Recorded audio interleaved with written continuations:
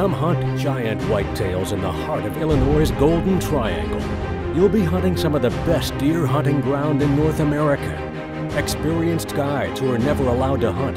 Beautiful accommodations, hundreds of trail cameras, 15 years in operation on over 10,000 trophy managed acres, over 500 tree stands. It's all about getting you a buck of a lifetime. Book your trip today. Visit goldentrianglewhitetail.com.